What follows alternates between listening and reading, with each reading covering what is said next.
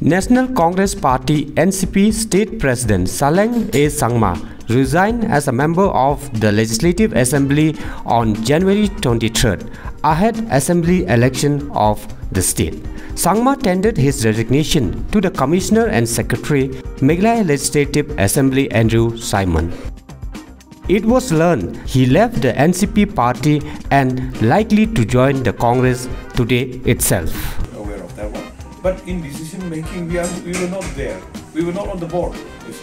So even people knew about it, and then people are aware of it. So why would I be scared? I don't have any, you know, any, threats regarding the anti-Indians created by the government.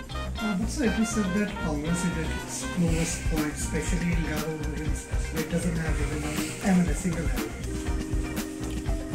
I think you all were aware actually. When I joined NCP, there were not even a single, not a clueless.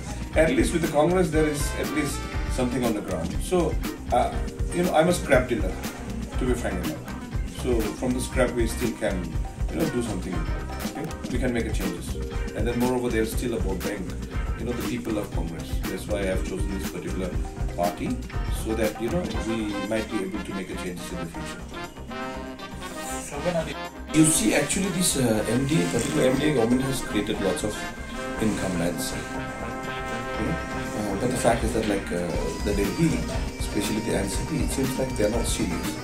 Whereas uh, I just cannot take, uh, you know, uh, right along with the, you know, uh, them actually, because my objective is to change, at least do some kind of reformation for the people. If the Delhi is not that serious, why would I go with them? My whole objective is for the people.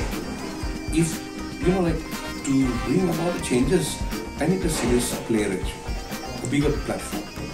Now with NCP, it seems like uh, I'm stuck. I just cannot spread my wings. You know?